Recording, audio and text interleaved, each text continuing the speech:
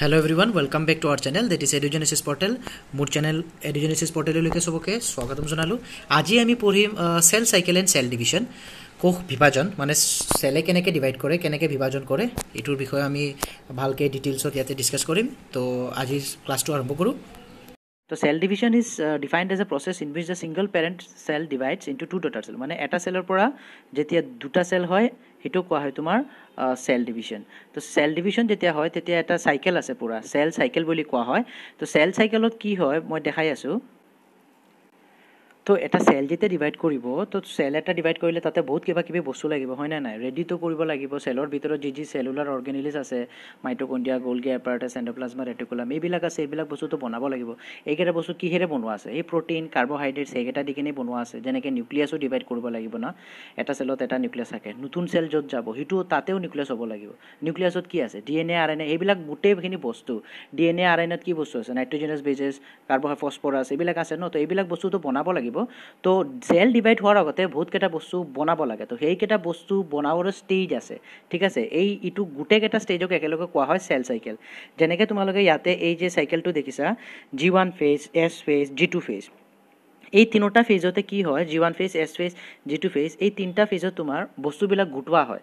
মানে যি যি বস্তু তোমাৰ লাগিব চেল ডিভিশ্যনৰ ডিভিশ্যনৰ কাৰণে সেইকেইটা বস্তু গোটোৱা হয়। যেনেকৈ ডি এন এ বনোৱাৰ কাৰণে যিবিলাক লাগিব D N A replication S ফেজত হ'ব তাৰপিছত তোমাৰ প্ৰটিন চিন্থেচিছ জি ফেজত হ'ব। এনেকৈ মানে যি যি বস্তু লাগে সেইকেইটা বস্তু গোটেইকেইটা এই তিনিটা ফেজত মানে যোগাৰ কৰা হ'ব বা তোমাৰ বনোৱা হ'ব ঠিক আছে? প্লাছ প্ৰটিন চটিন এইবিলাক বনোৱা হ'ব। তাৰ কাৰণে চেলটো গ্ৰ' কৰে। চেলটো গ্ৰ'থ হয়। আৰু এই যে এম ফেজ দেখিছা এই এম ফেজতে একচুৱেল ডিভিজন হয়। তো চেল চাইকেলটো কি? যদি মই ডেফিনেশ্যন কওঁ তো চেল চাইকেলটো হ'ব তোমাৰ ইটো যে the sequence of events by which a cell duplicates is genome synthesises other constituents of the cell it eventually divides into two daughter cell is call cell cycle মানে যেই সেই সেইকেইটা ষ্টেজেছ অফ চেল চাইকেল যোনটো দি কিনে চেলক যি যি বস্তু লাগে সেইকেইটা বস্তু বনোৱা এই যে চাইকেলটো আছে এইটো কয় cell cycle the daughter cell then grow' and again they maturity undergo cell division তো তাৰপিছত যি চেল আছে সেইটোৱে গ্ৰ' কৰিব ডিভাইড হোৱাৰ পিছত ডটাৰ চেলটো আছে ইটো গ্ৰ' কৰিব তাৰপিছত এইটো মেচিয়ৰ হৈ যাব। ঠিক আছে? আৰু এই গোটেইখিনি এই যে গোটেইকেইটা যে চেল ডিভিশ্যন আছে এইকেইটা গোটেইকেইটা ষ্টেজ আছে সেইটো তোমাৰ জেনেটিকেলি কণ্ট্ৰল কৰা হয়।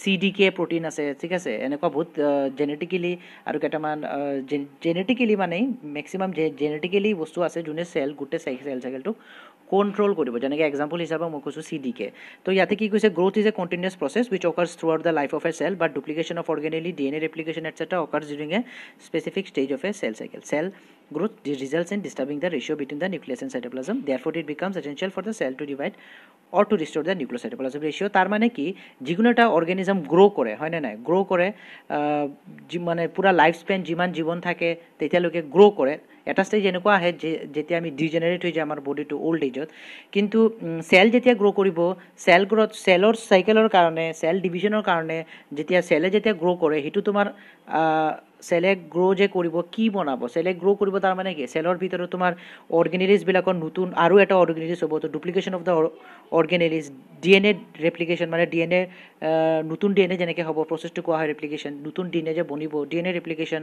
এইকেইটা গোটেইকেইটা কেতিয়া ক'ত হ'ব চেলৰ এইটো চেল চাইকেলৰ ষ্টেজত হ'ব। আৰু ধৰা ইটো এটা চেল তো এটা চেলত যদি দুটা চেল যদি বনাব খোজে এটা চেলত এটা নিউক্লিয়াছ আছে এই দুটা চেলতো নিউক্লিয়াছ লাগিব ন? তো প্ৰথমতে এই চেলটো ডিভাইড হোৱাৰ আগতে আগতে নিউক্লিয়াছটো ডিভাইড হৈ যাব লাগিব। চৰি আগতে নিউক্লিয়াছটো ডিভাইড হ'ব লাগিব। তো নিউক্লিয়াছ যদি ডিভাইড হৈ যায় আমি জানো যে এটা চেলত এটা নিউক্লিয়াছ থাকে হয়নে নাই? তো ইটো যেতিয়া আগতে চেলৰ ভিতৰত নিউক্লিয়াছ ডিভাইচ ধৰি লোৱা হৈ গৈছে তো নিউক্লিয়াছ ডিভাইড হোৱাৰ পিছতে ইয়াতে কেইটা নিউক্লিয়াছ আছে? দুটা এটা চেলত দুটা। নৰ্মেলি কি হয় এটা চেলত এটা নিউক্লিয়াছ থাকে কিন্তু ইয়াতে এটা চেলত দুটা নিউক্লিয়াছ থাকে। তো চেল ডিভিজন চেল কিয় ডিভাইড কৰে? চেল ডিভাইড সেই সেইকাৰণে কৰে কাৰণ নিউক্লিয়াৰ আৰু চেলৰ চাইট'প্লাজমৰ মাজত এটা ৰেচিঅ' থাকে। এইটো কোৱা হয় নিউক্লিঅ' চাইট'প্লাজমিক ৰেচিঅ' এইটো মেইনটেইন কৰিব লাগে। যেনেকৈ এটা চেলত এটা নিউক্লিয়াছ তাৰমানে one is to one one is to one ratio' থাকিব লাগিব। কিন্তু তুমি ইয়াতে চোৱা ইয়াতে কি হৈছে? নিউক্লিয়াছ কেইটা দুটা চেল কেইটা এটা তো এইটো কি হৈ গৈছে? টু ইজ টু ওৱান তো টু ইজ টু ওৱান ৰেচিঅ'টো গড়বৰ হৈ আছে হয়নে নাই? তো ওৱান ইজ টু ওৱান হ'ব লাগিব। তো সেইকাৰণে চেলটো এনেকৈ ডিভাইড হৈ যায়। চেলটো যেতিয়া এনেকৈ ডিভাইড হৈ যায় তাৰপিছত এটা চেলৰ পৰা কি হৈ গ'ল? এইটো এটা এটা চেলৰ পৰা দুটা চেল হৈ গ'ল।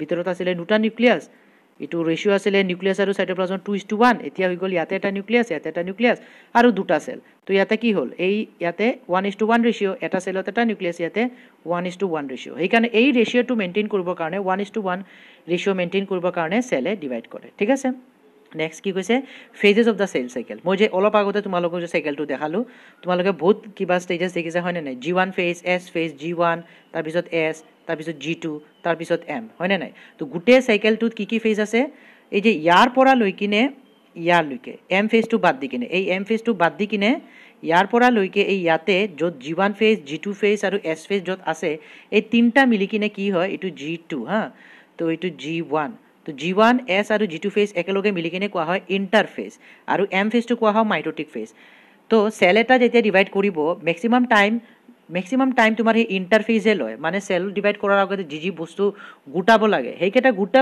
গোটেইখিনি বস্তু গোটোৱাৰ কাৰণে মেক্সিমাম টাইম লাগে। ঠিক আছে? আৰু এম ফেজত ধৰি লোৱা ধৰি লোৱা এইয়া ইয়াতে লিখি দিছে চোৱা ninety five percent of the duration of the cell cycle এই ইণ্টাৰফেজে কি কৰে? হাণ্ড্ৰেড পাৰ্চেণ্টৰ ভিতৰত নাইণ্টি ফাইভ পাৰ্চেণ্ট ইয়ে লৈ লয়। ফাইভ পাৰ্চেণ্টে খালি এম ফেজে লয়। মানে একচুৱেল যে চেল ডিভিজন হয় সেইটো তোমাৰ এই এম ফেজত মানে এম ফেজত তোমাৰ আৰু এটা ষ্টেজ আছে যাক কোৱা হয় চাইটোকাইনেচিছ তাতে চাইটোপ্লাজম ডিভিশ্যন হয় আৰু ইয়াতে নিউক্লিয়াছ ডিভিশ্যন তো এম ফেজ ইয়াতে এই যে নিউক্লিয়াছ ডিভিশ্যন হ'ব তাৰপিছত চাইটোকাইনেচিছ যে হ'ব। এই এই দুটাখিনি এই দুটা বস্তু মিলি কিনে মাত্ৰ ফাইভ পাৰ্চেণ্ট সময় লয়। গোটেই চেল চাইকেলৰ খালি ফাইভ পাৰ্চেণ্ট টাইম এই এম ফেজ আৰু চাইটোকাইনেছে লয়। বাকীকেইটা নাইণ্টি ফাইভ পাৰ্চেণ্ট এই ইণ্টাৰফেজে লয়। ঠিক আছে? এইটোৱে বুজাইছে। তো চ' এতিয়া আমি পঢ়িম ইণ্টাৰফেজ চেল চাইকেলৰ প্ৰথম ষ্টেজ আছে য'ত জি ওৱান ফেজ মই চাইকেলটো দেখাইছিলোঁ ন জি ওৱান ফেজ আছে প্ৰথমতে থাকে জি ওৱান তাৰপিছত এছ তাৰপিছত জি টু ইয়াতে এম আৰু ইয়াতে অলপখিনি চাইটকাইনেছে ইটোৱেটোহে তোমাৰ চেল চাইকেল ইয়াতে আৰু এটা থাকে জি অ' আচ্ছা পিছত ক'ম জি অ' কি তো এই যে এইকেইটা ইয়াৰ পৰালৈকে ইয়াৰলৈকে কি কোৱা হয়? ইণ্টাৰফেচ ন? বা ৰেষ্টিং ফেজ বুলি কোৱা হয়। তো এই এতিয়া আমি পঢ়ি আছোঁ ইণ্টাৰফেচ তো ইণ্টাৰফেচত it is a long non dividing growth growth phase of the cell cycle it represent the most active side most active stage of the cell. Uh, where both cell growth and DNA replication occur in a orderly manner. It is a period of intense growth synthesis in which a cell stocks all the biomolecule required for cell division. মই যেনেকৈ আগতে তোমালোকক ক'লোঁ যে ইণ্টাৰফেচত mainly কি হয় M ফেচত তোমাৰতো চেলটো divide কৰিব। তো ইণ্টাৰফেচত তোমাৰ যি যি বস্তু লাগে গোটাবৰ কাৰণে চেল ডিভাইডৰ কাৰণে আৰু যেনেকৈ ডি এন এ ৰেপ্লিকেট কৰিব ডি এন এ যদি ৰেপ্লিকেট মানে কি? ডি এন এ ডিভিজন হ'ব। নিউক্লিয়াছৰ ভিতৰত কি আছে? ডি এন এ আছে ক্ৰমজম আছে। সেইকেইটা বস্তু বনাওঁ কিহেৰে বনোৱা? Amino acids protein amino acids তাৰপিছত ডি এন এ কিহেৰে বনোৱা নাই নাইট্ৰজেনাছ বেচিছ এডিনাইন গুৱানাইন সেইকেইটা দি কিনে বনোৱা। তো এইকেইটা বস্তুটো গোটাব লাগিব ন? যেনেকৈ protein is a polymer of amino acid. প্ৰটিনক ভাঙি কিনে একেবাৰে লাষ্টত তুমি কি পাবা এমাইনো এচিড। বহুতকেইটা এমাইনো এচিড লগ খাই কিনে প্ৰটিন বনাইছোঁ। আমি কি কওঁ? Protein is a polymer of amino acid. ঠিক তেনেকৈ D N A is a polymer of nucleotides. এই যে নাইট্ৰজেনাছ বেজেছ চুগাৰ ফচফৰাছ এই তিনিটা বস্তু যে ডি এন এত পোৱা যায় এই তিনিটা মিলি কিনে কি বনায়? নিউক্লিঅ'টাইড। ছেইম তেনেকৈ ডি এন এ তেনেকৈ বহুতকেইটা নিউক্লিঅ'টাইড এনেকৈ লগ খাই খাই এটা ডি এন এ ষ্ট্ৰেণ্ড বনায়। তো ডি এন এ আমি ক'ব পাৰোঁ পলিমাৰ অফ নিউক্লিঅ'টাইডছ পলিমাৰে বহুতকেইটা নিউক্লিঅ'টাইডছ এনেকৈ থাকে। তুমি যদি প্ৰটিন কোৱা ইয়াতে সৰু সৰু কি থাক পাবা এনেকৈ এইবিলাক কি পাবা? এমাইনো এচিডছ তো মই কি ক'ম? Protein is a polymer polymer poly মানে বহুতকেইটা কি? এমাইনো এচিডছ তো protein is a polymer of amino acids D N A is a polymer of nucleotides এইকেইটা কি? এইকেইটা nucleotides in case of D N A এইটো নিউক্লিঅ'টাইডছ ঠিক আছে? আৰু কাৰ্বহাইড্ৰেটৰ ক্ষেত্ৰত কাৰ্বহাইড্ৰেটটো এনেকৈ থাকে। তৈৰী হৈছে এইবিলাক কি? এইবিলাকক কোৱা হয় ছেকেৰাইড কাৰ্বহাইড্ৰেটৰ কোৱা হয়। কাৰ্বহাইড্ৰেট ইজ এ পলিচেকাৰাইড বা ডাইচেকাৰাইড দুটা ইউনিট থাকিলে ডাইচেকাৰাইড ঠিক আছে? এটা ইউনিট থাকিলে মনোমাৰ বহুতকেইটা থাকিলে পলিমাৰ ঠিক আছে?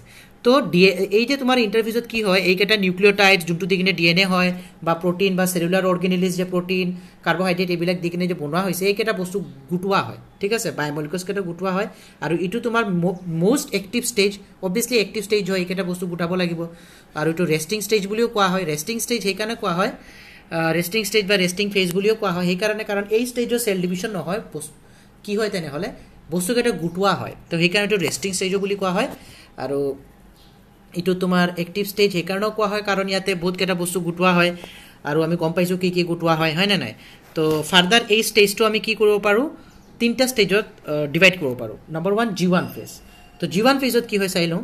জি ওৱান ফেজত আৰু এটা নাম গেপ ওৱান ফেজ আৰু এইটো তোমাৰ চবতকৈ দীঘলীয়া phase it is the longest phase of the interphase ইয়াতে কি হয় মনত ৰাখিবা ইয়াতে আৰ এন এ প্ৰটিন আৰু চেলুলাৰ অৰ্গেনিলিজ আছে যে এইকেইটা বনোৱা হয়। ঠিক আছে? যেনেকৈ most of the organelles duplication occurs in this phase তাৰমানে মাইট্ৰকণ্ড্ৰিয়া কোৱা বা বেলেগ এণ্ডোপ্লাজমিক ৰেটিকুলাম ক'লা। এই যে তোমাৰ চেলুলাৰ অৰ্গেনিজবোৰ যে আছে এইবিলাকৰ মেমব্ৰেইন বাউণ্ড চেলুলাৰ অৰ্গেনিজ যে আছে এইবিলাক ডুপ্লিকেশ্যন হ'ব নতুন নতুন হ'ব। কাৰণ বেলেগ এটা চেলৰ কাৰণে আকৌ লাগিব নহয় এইকেইটা বস্তুটো এইকেইটা বস্তু ডুপ্লিকেশ্যন হ'ব। এটাৰ পৰা আৰু এটা বনিব। আৰু মেইনলি মনত ৰাখিবা এইবিলাক সুধিব ইটোৱে মেইনলি সুধিব জি ওৱান ফেজত কি প্ৰডাকশ্যন হয় এছ ফেজত কি প্ৰডাকশ্যন হয় জি টু ফেজত কি পোৱা যায় জিঅ' ফেজত কি হয়।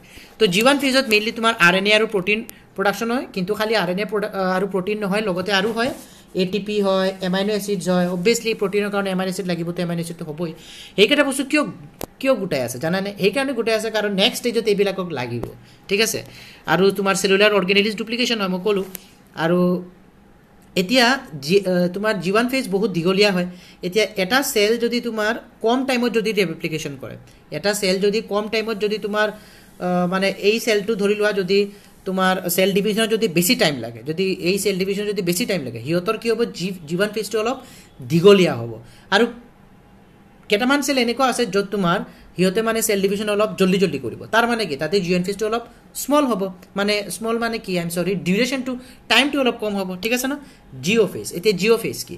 জিঅ' ফেজ মানে এই জি ওৱান ফেজৰ পৰা সেইকেইটা চেল যোনে মানে ডিভাইড কৰিব নিবিচাৰে এৰেষ্ট হৈ যায়। সেইকেইটা তোমাৰ কিউচেণ্ট ষ্টেজ বা মনত ৰাখিবা জিঅ' ফেজৰ আৰু এটা নাম কিউচেণ্ট ষ্টেজ বা জিঅ' ষ্টেজ বুলি কোৱা হয়। তো জিঅ' ষ্টেজ আৰু কিউচেণ্ট ষ্টেজত কেইটামান চেল এৰেষ্ট হৈ যায় সিহঁতে আৰু আগ নাবাঢ়ে। এছ ফেজত এই যে এছ পেজ নেক্সট হোৱা নাম্বাৰটো কি? এছ পেজ সেই এছ পেজত তোমাৰ সেই এছ পেজত তোমাৰ ট্ৰান্সফাৰ নহয়। সিহঁতে বেলেগ এটা ফেজত গুচি যায় যাৰ নাম হয় জি জিৰ' বা জি অ' ফেজ বা কিউচেণ্ট ফেজ ঠিক আছে? যেনেকৈ নাৰ্ভ চেল আমাৰ নাৰ্ভ চেল কিন্তু কেতিয়াও ডিভাইড নকৰে। আমি জন্ম হওঁতে যিমান নাৰ্ভ চেল আমাৰ যেনেকুৱা আছিলে তাৰপিছত আমাৰ গোটেই জীৱনটো এনেকৈয়ে থাকে। এইটো আৰু ডিভাইড চিভাইড নহয় যেনেকৈ আমাৰ আৰ বি চি ডিভাইড হয়।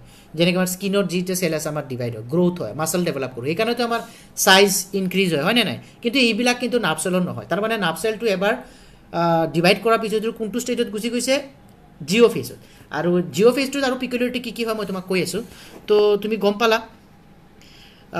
আচ্ছা জিঅ' ফেজত পিকুলাৰিটি ইটোৱে হয় যে এইটো তোমাৰ নাভ চেলত তোমাৰ যেনেকৈ নাভ চেল এটা এক্সাম্পল সিহঁতে আৰু ডিভাইড নকৰিব কিন্তু সিহঁতে মেটাবলিক মেটাবলিকেলি কিন্তু এক্টিভ থাকে। মানে ভিতৰৰ কিন্তু এটা চেলৰ কিন্তু যি যি ডিভিজন কৰাৰ কিন্তু কেপাচিটিটো কিন্তু ঠিকেই আছে। ঠিক আছে? তো ইয়াতে মেটাবকেলি এক্টিভ হৈ থাকে তাৰ মানে সিহঁতৰ ডিভিশ্যন কৰাৰ কেপাচিটিটো থাকে। এনেকুৱা নাই যে সিহঁতে ফিউচাৰত আৰু ডিভিশ্যন নকৰিব। কৰিব। যদি দৰকাৰ হয় পিছত তেনেহ'লে সি আকৌ ডিভাইড কৰিব পাৰিব। চেল ডিভিশ্যনটো সি কৰিব পাৰিব। এই যে ইয়াতে লিখিছে চোৱা এইটো বহুত ইম্পৰ্টেণ্ট কথা যে cell remains metabolic metabolically active but do not proliferate unless they are called to do called to do so' তাৰমানে যেতিয়ালৈকে তাক নকয় আমাৰ বডিয়ে বা যোনে কণ্ট্ৰল কৰে চেল ডিভিশ্যনক কেইটামান প্ৰটিন আছে C D K proteins kinase আছে C D C D C K two kinase discuss কৰিম। সেইকেইটা বস্তু সিহঁতক যেতিয়া ক'ব যে যোৱা তুমি এতিয়া ডিভাইড কৰা তেতিয়াই ডিভাইড কৰিব। কিন্তু মেটাবলিকেলি এক্টিভ কিন্তু থাকে তাৰ কেপাচিটিটো নাইকিয়া হৈ নাযায়। আচ্ছা আমি কি গম পালোঁ? জি ওৱান ফেজ বহুতে দীঘলীয়া ফেজ তাতে মেইনলি আৰ এন এ আৰু প্ৰটিনি তোমাৰ প্ৰডিউচ কৰা হয় লগতে আৰু হয় যেনেকৈ এ টি পি আৰু এমাইনো এচিডছ প্ৰডিউচ কৰা হয় আৰু ডিপেণ্ডিং আপন চেল সেইকেইটা চেল যাৰ চেল ডিভিশ্যনৰ টাইমটো বেছি তাৰ জি ওৱান ফেজত দীঘলীয়া হয় আৰু যাৰ যোনে চেল ডিভিশ্যন জল্দি জল্দি কৰি লয় সেইকেইটা চেল তাতে জি ওৱান ফেজটো তুমি টাইম ডিউৰেশ্যনটো অলপ কম হয়। তো নেক্সট হয় আমাৰ এছ ফেজ এতিয়া এছ ফেজটো ইম্পৰ্টেণ্ট কাৰণ সেইকাৰণে ইম্পৰ্টেণ্ট কাৰণ এছ ফেজত তোমাৰ মেইনলি ডি এন এৰ এপ্লিকেশ্যন হ'ব। In the S phase S ফেজৰ আৰু এটা নাম চিন্থেটিক ফেজ সেইকাৰণে তাৰ এছ ফেজ বুলি কোৱা হয়। ইয়াতে কি হয় ধৰি লোৱা ইটো এটা ক্ৰমজম হয়তো ইটো এটা ক্ৰমজম ইয়াতে মাজত কি আছে চেণ্ট্ৰমিয়াৰ তো এই ইয়াতে এই ক্ৰমজমৰ ভিতৰত কি থাকে D N A D N এৰ ভিতৰত কি আছে জিন্স তো এছ ফেজত এটা ক্ৰমজমৰ পৰা আৰু এটা ক্ৰমজম হৈ যাব। এটা ক্ৰমজমৰ পৰা এই আৰু এটা ক্ৰমজম হৈ গ'ল। লগ লাগি আছে চেণ্ট্ৰমিয়াৰত কিন্তু লগ লাগি আছে। কিন্তু ই ছেপাৰেট কিন্তু হোৱা নাই। তাৰ মানে কি?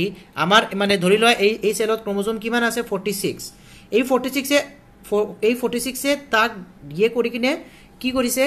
ফৰ্টি ছিক্সে মানে যেতিয়া ডিভাইড কৰিব কি কৰিব? যদি মাইট্ৰচিছ ডিভিশ্যন হয় তেনেহ'লে তেনেহ'লে ছেইম ক্ৰমজম নাম্বাৰ থাকিব ফৰ্টি ছিক্সে থাকিব।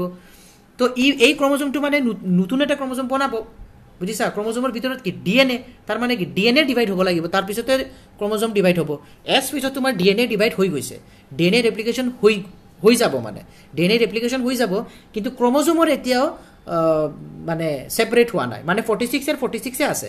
কিন্তু অঁ ফৰ্টি ছিক্সত যি যি ক্ৰমজম থাকে চৰি ফৰ্টি ছিক্সত যিমান ডি এন এ লাগে সিমান ডি এন এ এক্সট্ৰা নতুনকৈ ছেইম এমাউণ্ট বনোৱা হৈ যাব। তাৰ মানে কি? ডি এন এ যদি এই ফৰ্টি ছিক্স ক্ৰমজমত যদি ডি এন এ আছে ধৰা মই ক'ম চি যদি ডি এন এ আছে টু চি টুৱাইছ চি আছে ডি এন এ এতিয়া এছ ফেজত কি হয় এইটো টু চিৰ পৰা হৈ যাব ফ'ৰ চি। বুজিছানে? মানে এইটো ডাবল হৈ যাব। ডাবল হৈ যাব। কিন্তু মনত ৰাখিবা ক্ৰমজম নাম্বাৰ ডাবল হৈ নাযায়। এটা ক্ৰমজম আমাৰ চেলত কিমান থাকে? ফৰ্টি ছিক্স এছ ফেজত কিন্তু ফৰ্টি ছিক্সৰ পৰা কিন্তু নাইণ্টি টু হৈ নাযায়। বুজিছানে? নাইণ্টি টু নহয়। জাষ্ট ক্ৰমজম ফৰ্টি ছিক্স ক্ৰমজমৰ ভিতৰত ডি এন এ আছে। ডি এন এ ৰেপ্লিকেশ্যন হৈ গৈছে। ডি এন এ তাৰ যিমান এমাউণ্ট লাগে ফৰ্টি ছিক্স ক্ৰমজম বনাবলৈ সিমান এমাউণ্ট ডি এন এ নতুনকৈ বনোৱা হৈ গৈছে কিন্তু ক্ৰমজম এতিয়াও বনোৱা হোৱা নাই। তো সেইকাৰণে মই ডায়েগ্ৰামটো আঁকিছোঁ। ইটো ক্ৰমজম এটা এই ক্ৰমজমে আৰু এটা ক্ৰমজম এনেকৈ বনাই লৈছে কিন্তু ছেপাৰেট হোৱা নাই। ছেপাৰেট হোৱা নাই। এইটো বহুত ইম্পৰ্টেণ্ট কথা ঠিক আছে? তো cell retains the original diploid twice N number but now has duplicate set of genes the cell has double the product of 4C of DNA present in a diploid cell. Since uh, synthesis of histone protein also occur in this phase. Molecule D N A replication হ'ব ঠিক আছে D N A replication হ'ব মানে এটা D N এ পৰা আৰু এটা D N এ হ'ব ডি এন এ ক'ত আছে ক্ৰমজমৰ ভিতৰত আছে ডি এন এৰ মাত্ৰাটো বাঢ়ি যাব মানে আমাৰ দেহত ফৰ্টি ছিক্স ক্ৰমজম আছে মই যদি কওঁ আমাৰ আমি ডাইপ্লইড ন ডাইপ্লইড মানে কি টুৱাইছ এন আমাৰ স্পামত কিমান থাকে হাফ মানে এন তো আমি স্পাম বা গেমেটছত কি হৈ যায় এইটো? অভা বা স্পামত হৈ যাব হাফ তাৰমানে হেপ্লইড কিন্তু আমাৰ আমাৰ স্পাম বা অভা যা, যোনে বনাব, তাতে কিমান থাকে? টুৱাইছ এন তাৰমানে কি? ডাইপ্লইড আমাৰ বডি চেল যে আছে বডি চেলত কিমান আছে? স্কিন চেল মাচেল চেল তাতেও ডাইপ্লইড তো ডাইপ্লইড ঠিক আছে? ফৰ্টি ছিক্স মানে ডাইপ্লইড আৰু টুৱেণ্টি থ্ৰী মানে হেপ্লইড আমাৰ স্পাম অভাত আছে টুৱেণ্টি থ্ৰী হেপ্লইড আচ্ছা এইটো বাদ দিয়া। তো, তাৰ মানে এটা চেলত ফৰ্টি ছিক্স ক্ৰমোজম থাকে মানে টুৱাইছ এন তো এছ স্পেচত তোমাৰ টুৱাইছ এন টুৱাইছ এনে থাকিব। এইটো কিন্তু আৰু ফ'ৰ এন হৈ নাযায়। ক্ৰমোজমৰ মাত্ৰা কিন্তু নাবাঢ়ে ফৰ্টি ছিক্স টু ফৰ্টি ছিক্সে হ'ব। খালি ডি এন এৰ মাত্ৰাটো বাঢ়ি যাব। ডি এন এৰ মই ক'লোঁ ন ডি এন এ যদি আছে টু চি এইটো কি হৈ যাব? ফ'ৰ চি এইটো বহুত ইম্পৰ্টেণ্ট কথা মনত ৰাখিবা। এইটো কনফিউজিং অলপ বহুত ষ্টুডেণ্ট এইটো কনফিউজিং পায় সেইকাৰণে ক'লোঁ। In animal cell during the S space D N A replication begin in the nucleus and the centrioles of duplication in the cytoplasm centrioles are required during M phase centrioles তোমাৰ plant চেলত নাথাকে চেণ্ট্ৰিয়েল তোমাৰ animal চেলত থাকে। আৰু S ফেজত কি হয়? এই যে চেণ্ট্ৰিয়েলছ আছে এনিমেল চেলত চেণ্ট্ৰিয়েলছটো ডিভাইড হোৱা আৰম্ভ কৰে। চেণ্ট্ৰিয়েলছে তোমাৰ বহুত ইম্পৰ্টেণ্ট কাম আছে নেক্সট ষ্টেজত এম ফেজ যেতিয়া আমি পঢ়িম তেতিয়া গম পাবা চেল ডিভিশ্যনত বহুত ইম্পৰ্টেণ্ট কাম আছে। তো এনিমেল চেলত চেণ্ট্ৰিয়েল থাকে সেইকাৰণে চেণ্ট্ৰিয়েলছ এনিমেল চেলত সেই এছ পিছত কি হয় ডিভাইড হোৱা আৰম্ভ হৈ যায়। আৰু এইকেইটা মনত থাকিব আৰু চেণ্ট্ৰিয়েলছৰ প্লাণ্ট চেলত নাথাকে মই আগতেও মোৰ আগৰ ভিডিঅ' পাৰ্টছকেইটাত মই ডিছকাছ কৰিছোঁ। তো এছ পেজত আমি কি গম পালোঁ? যে ডি এন এৰ এপ্লিকেশ্যন হৈছে ডি এন এৰ এমাউণ্টটো বাঢ়ি গৈছে কিন্তু ক্ৰমজম ডিভাইড ডিভাইড হোৱা নাই। Next phase G two phase এতিয়া জি টু পেজত কি হ'ব? জি টু পেজত হ'ব তোমাৰ জি টু ফেজৰ আৰু এটা নাম গেপ টু ফেজ যেনেকৈ জি ওৱান ফেজ গেপ কোৱা হয় ইয়াতে জি টু ফেজ আৰু জি টু ফেজত তোমাৰ কি হয়? টিউবুলিন প্ৰটিন চিন্থেচিছ হয়। আৰু মাইটকণ্ড্ৰিয়া ক্ল'ৰ'প্লাছ গল্গি বডি সেইকেইটা নতুন নতুন বনোৱা হয়। সেইটো সেইটো তোমাৰ আকৌ অৰিজিনেট হয়। ঠিক আছে টিউবুলিন প্ৰটিনটো চিন্থেচিছ হয় আৰু এইকেইটা চেলুলাৰ অৰ্গেনিজৰ ডুপ্লিকেশ্যন হয় মানে নতুন নতুন বনোৱা হয়। তাৰপিছত এই ষ্টেজত তোমাৰ ডি এন এৰ চিন্থেচিছ কিন্তু আৰু নহয়। ডি এন এ চিন্থেচিছ তোমাৰ এছ ফেজত হৈ গৈছে। এতিয়া D N A synthesis tops হৈ যাব। কিন্তু ইয়াতে আৰ এন এ আৰু প্ৰটিন কিন্তু বনোৱা হ'ব পাহৰি নাযাবা। ঠিক আছে? আৰু এই ষ্টেজত কি হয় মই ক'লোঁ? In animal cell mitotic division is in আচ্ছা। এই যে এইটো এটা এক্সট্ৰা কথা মাইটটিক চেল ডিভিশ্যন আমাৰ ডাইপ্লইড চেলতে হয়। আৰু প্লাণ্ট চেলত তোমাৰ হেপ্লইড ডাইপ্লইড দুটা চেলত হয়। এইটো পিছত ভাল ভালকৈ বুজাই দিম এতিয়া বুজি নাপাবা। আচ্ছা এতিয়া গোটেই যে চেল চাইকেল আহিছে কোনে কণ্ট্ৰল কৰে? এইটো তোমাৰ কণ্ট্ৰল কৰে কোনে? এইটো বহুত ইম্পৰ্টেণ্ট এইটো জানিব লাগিব আমাৰ।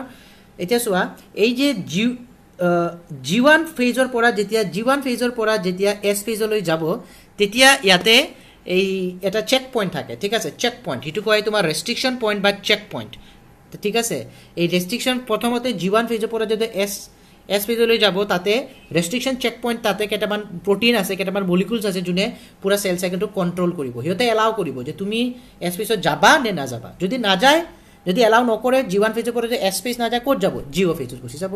হয় নে নাই? মানে চেলটো জি ওৱান ফেজৰ পৰা এইটো ধৰা জি ওৱান তো জি ওৱান ফেজৰ পৰা ই জি অ' যাব নে এছ যাব? কোনে কোনে চেক কৰিব? এই জি ওৱান ফেজতে এটা চেক পইণ্ট আছে যাৰ নাম হয় চেক পইণ্ট বা ৰেষ্ট্ৰিকশ্যন পইণ্ট ঠিক আছে? তাৰপিছত once a cell crosses a restriction point it is destined to complete a cell cycle and and minor check point G two two M phase আৰু এটা তোমাৰ চেক পইণ্ট আছে যোনটো কোৱা হয় যেতিয়া জি টুৰ পৰা যেতিয়া এম ফেজলৈ যাব। এতিয়া চোৱা ইয়াতে আছে G O' then G three G G one তো তাৰপিছত এছ তো জি ওৱানৰ পৰা এছৰ পৰা জি ওৱানৰ পৰা এছ যাব নে কিউত যাব এইটো ডিপেণ্ড কৰিব তোমাৰ তাতে এটা চেক পইণ্ট আছে প্লাছ এইটো হয় মেজৰ চেক পইণ্ট আৰু এটা আছে মাইনৰ চেক পইণ্ট যেতিয়া জি টুৰ পৰা এছ ফেজৰ পৰা যেতিয়া জি টু যাব আৰু জি টুৰ পৰা যেতিয়া এমলি যাব তাতে এটা চেক পইণ্ট আছে যাৰ নাম হয় minor check point very important G tour পৰা যেতিয়া এমলৈ যাব তাতে আছে মাইনৰ চেক পইণ্ট আৰু জি ওৱানৰ পৰা যেতিয়া এছত যাব তেতিয়া আছে এটা মেজৰ চেক পইণ্ট তো ইয়াতে কি লিখিছে চাওঁ যে cell cycle is regulated by cell dependent protein kinase দেখিছা ন? চাইম চৰি চাইক্লিন ডিপেণ্ডেণ্ট প্ৰটিন কাইনেছ মানে চাইক্লিনৰ ওপৰত ডিপেণ্ডেণ্ট কৰি কিনে এটা প্ৰটিন পোৱা যায় যাৰ নাম হয় কাইনেছ সেই কাইনেছটোৱে কণ্ট্ৰল কৰে গোটেই চেল চাইকেলত আৰু চেক পইণ্টটো আছে। এইটো বহুত ইম্পৰ্টেণ্ট হা। Cyclin dependent protein kinase cyclins are protein that activate protein kinases to regulate eukaryotic cell cycle G one to S transition is caused by the G one cyclin C D চে C D C two kinase দেখিছা ন? G ওৱানৰ পৰা ইটো S ওৱানলৈ যাব ইয়াতে যে major check পইণ্টটো আছে এই কোনটো প্ৰটিনে কণ্ট্ৰল কৰিব? G one cyclin plus C D C two kinase very important আৰু জি টুৰ পৰা যে এম ট্ৰানজেকশ্যনলৈ যাব জি টুৰ পৰা যে এমত যাব যোনটো মাইনৰ চেক পইণ্ট মই কৈছিলোঁ তাতে এটা ফেক্টৰ থাকে তাৰ তাৰ নাম কি? মেচুৰেশ্যন প্ৰমোটিং ফেক্টৰ বা mitotic cyclin plus C D C C D C D C M three C D C two kinase সেই প্ৰটিন আৰু সেইকেইটা ফেক্টৰ মিলি কিনে তোমাৰ জিউটোৰ পৰা এমলৈ যাবনে নাযাব এইটো ডিচাইড কৰিব। এইটো বহুত ইম্পৰ্টেণ্ট তো এইটো তোমালোকে মনত ৰাখিবা এইকেইটাই সুধিব। চ' মই আজি মই ইয়াতে ৰাখিম ভিডিঅ'টো বহুত দীঘলীয়া হৈ গৈছে। চ' এই ভিডিঅ'টো যদি তোমালোকে বুজি পাইছা তেনেহ'লে লাইক কৰিবা শ্বেয়াৰ কৰিবা ছাবস্ক্ৰাইব কৰিবা লগৰবোৰৰ লগত যাতে এনেকুৱা ভিডিঅ' মই যেতিয়া ফিউচাৰত আকৌ যেতিয়া মই ইয়ে কৰিম আপলোড কৰিম তোমালোকে যাতে ডাইৰেক্ট নটিফিকেশ্যন পাই যোৱা। তো ধন্যবাদ ইয়াতে অহাৰ কাৰণে। Thank you very much